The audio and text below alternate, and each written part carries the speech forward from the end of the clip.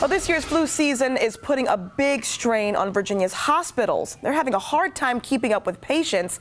And in Richmond, VCU Medical Center stepped in to help medics figure out which hospital patients should go to. The strain of flu this year is, is really incapacitating a lot of people, so they're unable to, they're, they're drained and they're dehydrated.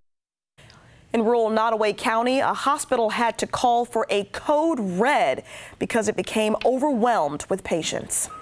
Well, we reached out to Sentara as well, and they pointed us to the statistics from the Virginia Department of Health. Now, that showed the flu at widespread levels. So, it's several questions out there about the flu. We set out to verify what is fact and what's fiction.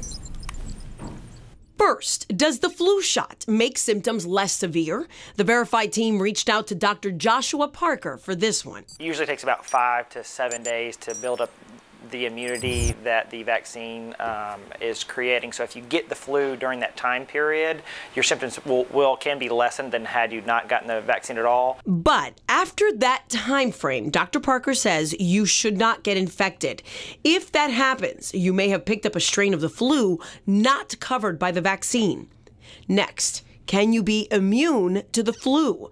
A small study was done on that specific question, and we can verify that that is in fact false. Every single patient shows some reaction. Now that might, that reaction might be as, as small as they had an increase in the amount of white blood cells that are responsible for fighting that virus.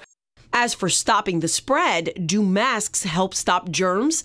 Well, Dr. Parker verifies yes, they can, especially when you combine them with antibacterial products like hand sanitizer and soap wearing a mask and keeping your hands clean can reduce it the, the rate of transmission by as much as 75%.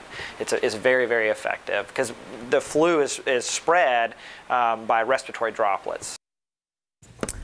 Okay, so once again, we did email Sentara to figure out how many people do you have going into your emergency departments with the flu. They did not give us a number. Instead, they turned us to the information that is listed on the state's website. We will post that on 13newsnow.com. So do you have something that you would like for us to verify for you? You can always let us know. Email verify at 13newsnow.com or reach out on Facebook and Twitter.